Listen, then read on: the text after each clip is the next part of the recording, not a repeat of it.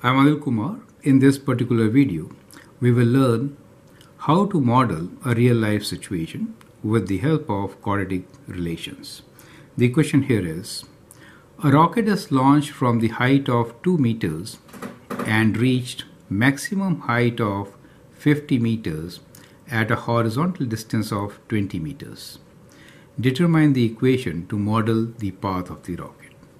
So let us sketch the path here and then we'll model.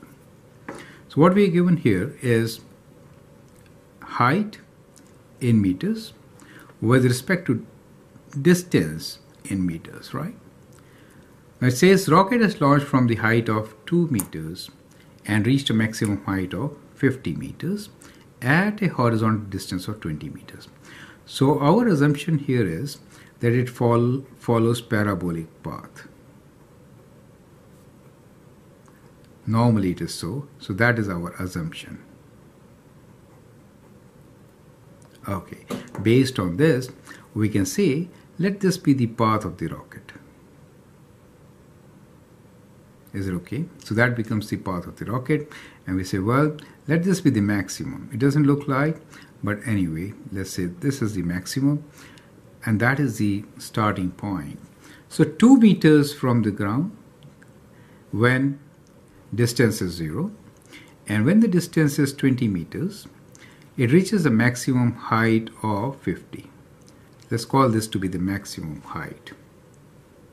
Okay, now we have to determine the equation to model this situation.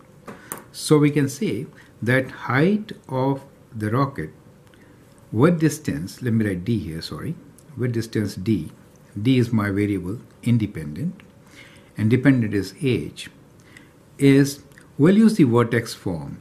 Let's say A times D, let's write D, at 20, which is minus 20 whole square, maximum height is 50. Maximum height is 50. Okay. So that is how we get our equation. So let me rewrite this. So we are saying height as a function of distance is A times any distance d minus 20 whole square plus 50. Now the question is, how do we get the value of A? We can always get the value of A from initial position, right? So we know that the initial position is launching point. When distance is 0, height is 2. So we can substitute this to find A. So height of 2 for distance of 0. So A times 0 minus 20 whole square plus 50. Now that gives you 2 equals to uh, 20 square is positive 400, so we get 400a plus 50.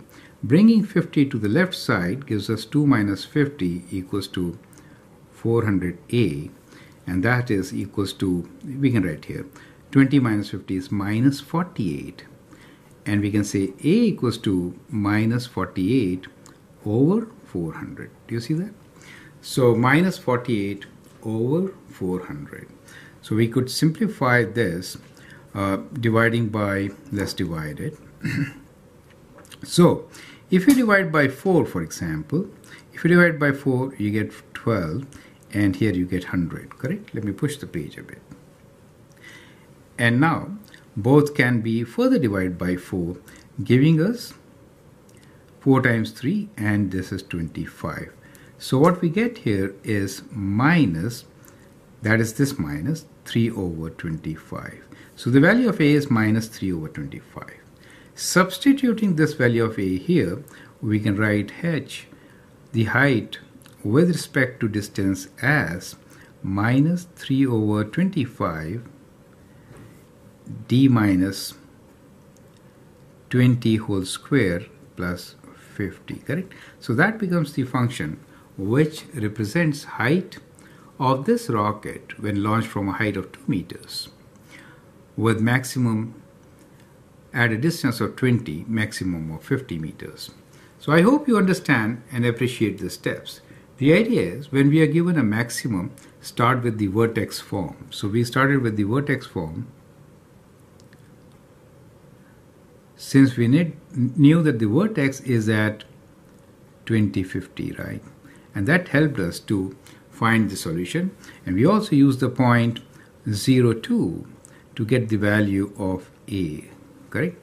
So I hope that helps how to solve such questions. I'm Anil Kumar. Feel free to share and subscribe my videos. And if you have any comments, post them. Thank you and all the best.